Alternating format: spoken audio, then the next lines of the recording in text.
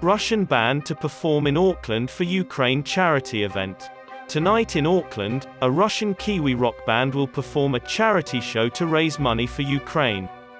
All proceeds from the concert will be donated to the Unite for Ukraine NZ organization, which was founded by three ladies, one of whom is a Russian and two of whom are Ukrainian. Hit Pump is the most well-known Russian rock band in New Zealand, and they mostly perform cover versions of Russian rock tunes. As the band's lead vocalist and guitarist, Ilya Chernukha explains, the band was eager to accept the opportunity to perform. In the 1980s, Chernukha's parents emigrated to Russia from Ukraine, although he was born in Vladivostok.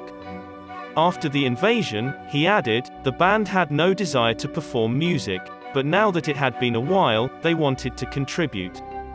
As Chernukha put it, the group's focus was on spreading a message of positivity and solidarity. With Sasha Nechayev joining Hit Pump on stage for a few songs, the Ukrainian bassist who opened for them at their previous show is now a full-time member of the band. Unite for Ukraine NZ member Nadia Dikareva said they asked Hit Pump because they were well known in the Russian-speaking community and she was a fan. Dikareva described her current situation as awkward since she is a Russian.